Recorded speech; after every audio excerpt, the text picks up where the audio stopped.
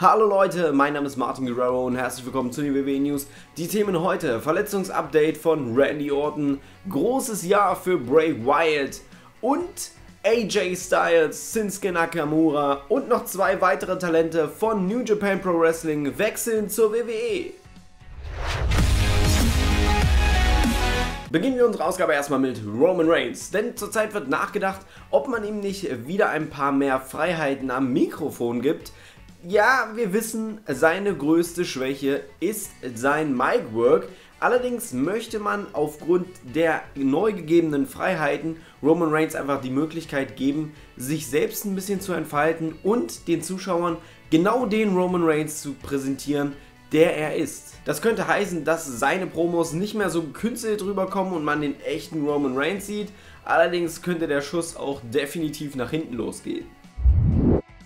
Vor einiger Zeit hat Solomon Grove aus NXT ganz überraschend nach seiner Entlassung gefragt und ganz lange wusste man nicht warum.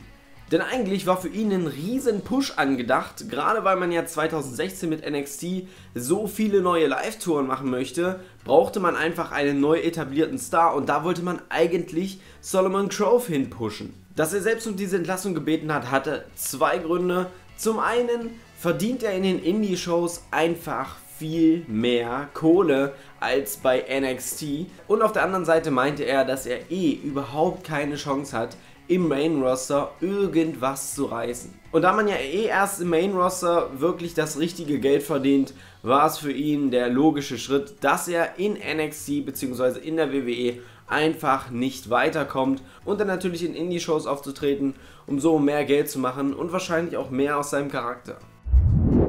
Kurzes Verletzungsupdate zu Randy Orton. Dieser hat sich ja letztes Jahr ziemlich böse erneut an der Schulter verletzt. Und natürlich steht ja auch noch eine Nacken-OP ins Haus, die auch notwendig ist. Allerdings möchte man trotz alledem Randy Orton für WrestleMania haben. Das Ganze würde dann so aussehen, dass er jetzt weiterhin noch so pausiert, dass er seine Schulter mehr oder weniger auskurieren kann, um dann bei WrestleMania ein Intercontinental Championship Match gegen Dean Ambrose zu haben, was ganz cool wäre.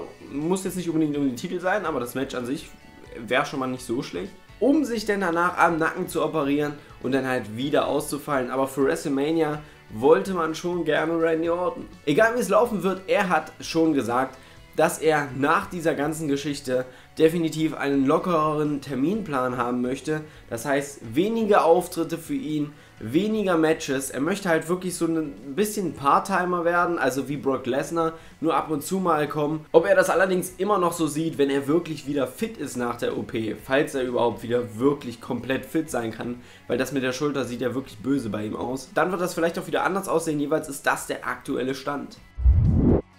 Man überlegt ja schon eine ganze Weile, ob man Bray Wyatt jetzt face-turn lassen sollte oder ihn einfach als Heal lassen, obwohl ich sehe ihn noch nicht mal wirklich als Heal. Er greift zwar die Guten an, aber er greift auch die Bösen an. Bray Wyatt greift irgendwie jeden an. Jedenfalls hat man backstage das Gefühl, dass ein Bray Wyatt sowieso nicht wirklich einen Titel braucht um diesen Charakter so geil weiter zu pushen. Und außerdem wäre es auch so, dass selbst wenn man ihm irgendwann einen Titel geben will, könnte man ihn einfach von heute auf morgen ins Main Event pushen. Und das wäre überhaupt kein Problem, weil die Leute es eh feiern würden, wenn Bray Wyatt demnächst auf den WWE-Titel gehen würde. Und ob er denn Heel oder Face ist, ist dann eigentlich auch egal. Und außerdem wurde schon bestätigt, dass für 2016 für Bray Wyatt ziemlich große Schlüsselsiege angedacht sind. Das heißt, er wird wohl in 2016 ein ziemlich geiles Jahr haben mit ziemlich großen Fädensiegen und das ist ja schon mal echt cool und ich bin echt gespannt, wo man da mit ihm hingeht. Generell mag ich den Bray Wyatt Charakter sehr, deshalb freue ich mich da auf alles, was kommt. Allerdings ist noch nicht angedacht, die Wyatt Family irgendwie zu splitten, von daher ist es alles noch ganz im Rahmen. Am 4.1. war New Japan Pro Wrestlings Wrestle Kingdom 10 und nicht nur, dass die Show grandios war, sondern auch kurz vorher haben vier Talente dem Booker von New Japan bestätigt, dass sie für folgende Shows nicht mehr allzu lange da sein werden, weil sie zur WWE wechseln werden. Also erstmal zu den Namen. Wir haben hier Carl Anderson, Doc Gallows, Shinsuke Nakamura und AJ Styles. Für die letzten beiden, so heißt es, hat die WWE einen richtigen Haufen Kohle auf den Tisch gelegt, weshalb diese sich denn doch dazu entschlossen haben, zur WWE zu wechseln. Bei Shinsuke Nakamura hingegen war das Ganze sogar schon im letzten Jahr geplant, ihn zu verpflichten. Allerdings laufen bei New Japan die ganzen Verträge immer zum Anfang des Jahres aus und man hat Shinsuke das Angebot erst nach Wrestle Kingdom geschickt, weshalb es einfach nicht mehr die Möglichkeit gab, ihn zu verpflichten. Carl Anderson hingegen war kurz davor, einen TNA-Vertrag zu unterschreiben, als denn doch der Brief von der WWE reinflatterte und er sich denn doch natürlich eher für die WWE entschieden hat. Und sogar die Homepage von der WWE berichtet über genau dieses Gerücht, über die Verpflichtung der vier. Von daher ist es somit schon kein Gerücht mehr, sondern hier definitiv bestätigt. Die japanischen Zeitungen berichten von dem Abgang von Shinsuke Nakamura zur WWE. Allerdings haben alle noch Verpflichtungen für Ring of Honor, die sie noch einlösen müssen, obwohl AJ Styles da das Ganze wohl schon geklärt hatte.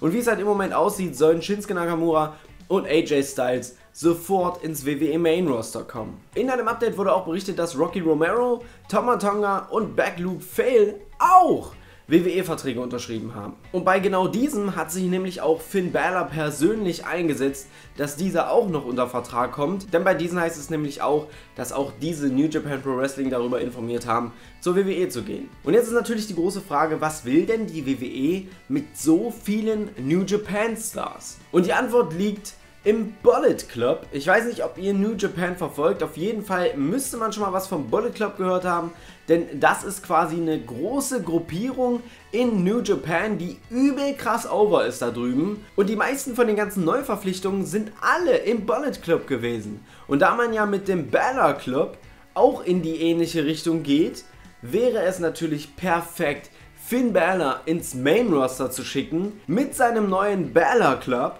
und so könnte man einfach die ganzen krassen Talente gleich mit ins Main Roster pushen Zusammen natürlich mit Finn Bella wäre das einfach eine richtig krasse Geschichte. Inwieweit Shinsuke und AJ Styles sich vielleicht denn doch lieber selbstständig machen oder auch die anderen, wer jetzt zu NXT geht und wer in das Main Roster sofort geschickt wird, ob vielleicht auch einige von denen überraschend im Royal Rumble Match auftreten werden, das ist halt alles noch nicht raus. Ich und die WWE wird wohl jetzt zurzeit ziemlich viele Probleme haben, diese neuen Talente irgendwie geil zu positionieren. Die haben also einen Haufen zu tun und ich hoffe, es wird geil. Es ist so ein bisschen ein Lachen und ein weinendes Auge, muss ich ganz ehrlich sagen, weil ich mir auch gut vorstellen kann, dass so große Leute wie Shinsuke Nakamura zum Beispiel einfach schlecht eingesetzt werden und in der WWE dann nicht die Aufmerksamkeit kriegen, die sie eigentlich verdienen. Deshalb muss man das alles noch abwarten. Ich bin da noch ein bisschen zwiegespalten, obwohl es natürlich richtig krass ist, gerade in einer Zeit, wo so viele Leute ausfallen so viele große Talente hier zu holen. Also meine lieben Freunde, guckt WWE, guckt NXT, ihr habt keine andere Möglichkeit. Macht es einfach. Es wird in den nächsten Wochen wieder richtig krass. Wir sind in der Road to WrestleMania und es wird einfach der absolute Wahnsinn. Guckt euch das alles an und äh, ja, guckt natürlich auch weiter in meine Videos. Wenn ihr das machen wollt, abonniert einfach kostenlos diesen Kanal. Und ich würde mich noch über einen Daumen nach oben freuen. Das ist die fünfte News-Ausgabe in der Woche geworden. Ich glaube, so langsam müsste ich vielleicht von diesem festen Plan abgehen. Von dem Montag und Donnerstag gibt es News und einfach immer, wenn es coole News gibt, News machen. Ich weiß nicht, wie ich es am besten mache. Keine Ahnung. Schreibt mal eure Meinung in die Kommentare. Auf jeden Fall war es das dann erstmal für heute. Und ich wünsche noch einen wunderschönen Tag. Hau rein, bis zum nächsten Mal. Und ciao.